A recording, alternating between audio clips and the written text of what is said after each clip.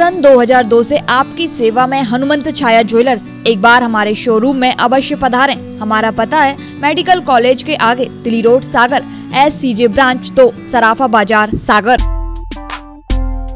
सागर ज़िले के मालथौन थाना क्षेत्र में यात्री बस और ट्रक की जोरदार भिड़ंत हो गई, जिसमें एक दर्जन से ज़्यादा सवारियाँ घायल हुई हैं, जिनमें छह लोग गंभीर घायल बताए जा रहे हैं। घायलों को पुलिस और स्थानीय लोगों की मदद से सामुदायिक स्वास्थ्य केंद्र भेजा गया है। हादसे में बस बुरी तरह से क्षतिग्रस्त हुई है। बताया जा रहा है कि बस रॉन्ग साइड से आ रही थी, तभी ट्रक से उसकी टक्कर हो गई। घटना के बाद ट्रक का ड्राइवर मौके से फरार हो गया।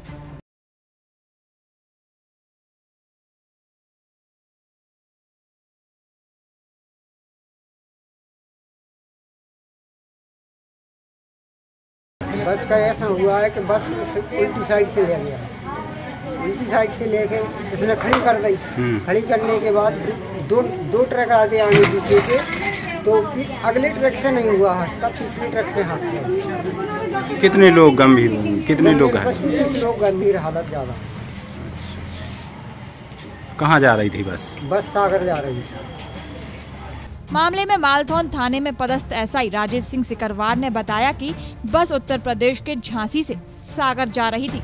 तभी हाईवे के पास बरौदिया क्षेत्र में हादसे का शिकार हो गई, जिससे कुछ लोग हताहत हुए हैं।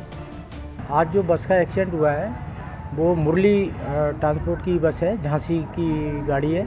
यूपी तिरानवे ई पाँच हज़ार छः गाड़ी का नंबर है, जो झांसी से सागर की तरफ़ जा रही थी।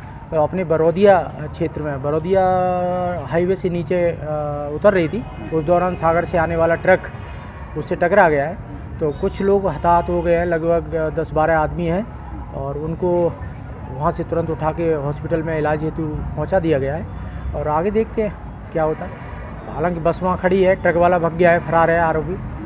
बाद में ढूंढते हैं किससे हुआ है वहाँ के लोग उसे पता करेंगे। रॉन्ग साइड चल रही थी बस हाँ बस रॉन्ग साइड क्या? रॉन्ग साइड ही थी बस रॉन्ग साइड थी क्योंकि बरौदिया में दाहिनी साइड में जाना था। एक्चुअली सागर बाई साइड से जाना था। क्रॉस कर रही थी रोड को।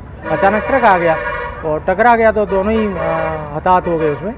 काफ़ी सवारियाँ हैं वो हताहत हैं। सभी हॉस्पिटल में अभी। उनका इलाज चल रहा है। कितनी महिलाएँ महिलाएँ लगभग उसमें तीन चार महिलाएँ हैं जो ज़्यादा डैमेज हैं और बकाया पुरुष है उसमें कुछ भी। अभी चल रहा है। हाँ गंभीर तीन आदमी ज़्यादा गंभीर हैं बकाया सब ठीक है कोई ज़्यादा दिक्कत नहीं है उसमें। मालथौन से भान सिंह यादव सागर टीवी न्यूज़। सन 2002 से आपकी सेवा में हनुमंत छाया ज्वेलर्स एक बार हमारे शोरूम में अवश्य पधारें। हमारा पता है मेडिकल कॉलेज के आगे Tili road Sagar S C J branch तो सराफा बाज़ार।